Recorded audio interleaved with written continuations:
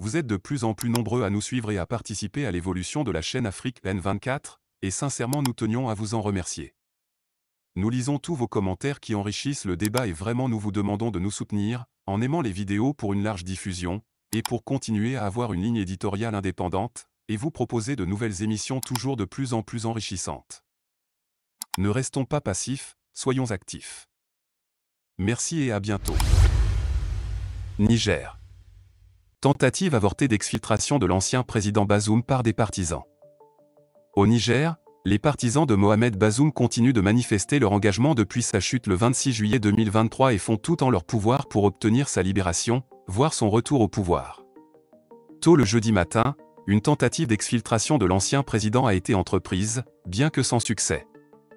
Aux premières heures du jeudi 19 octobre, un petit groupe de membres de la garde présidentielle chargés de surveiller Mohamed Bazoum et sa famille dans leur résidence se sont rendus auprès de l'ancien président. Peu de temps après, ils ont essayé de l'exfiltrer de la résidence présidentielle à destination d'un endroit inconnu, avec la complicité présumée d'un commando. Très rapidement, cette initiative a éveillé les soupçons des autres militaires en faction, qui se sont opposés aux initiateurs de cette action.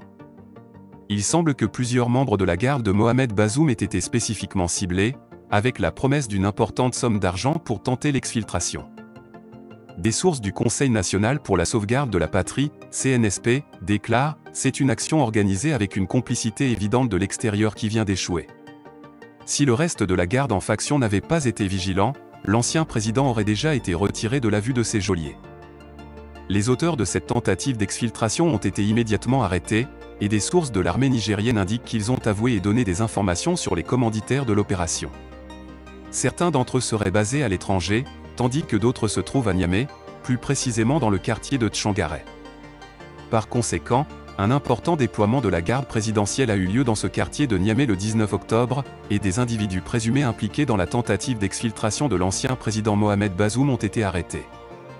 Cette opération n'a pas été exempte de violence, et les militaires ont dû faire usage de leurs armes pour maîtriser les suspects, provoquant des blessures par balles et deux arrestations, selon des témoins locaux les militaires nigériens ont déjà pointé du doigt des commanditaires étrangers, particulièrement la France et la CDAO, qui avaient évoqué la possibilité d'une intervention militaire à Niamey pour libérer Mohamed Bazoum de ses geôliers et le rétablir au pouvoir.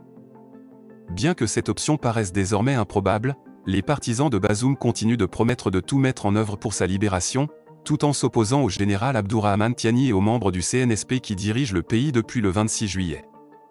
Des détails plus précis devraient être communiqués lors de futures déclarations officielles du CNSP ou du gouvernement nigérien.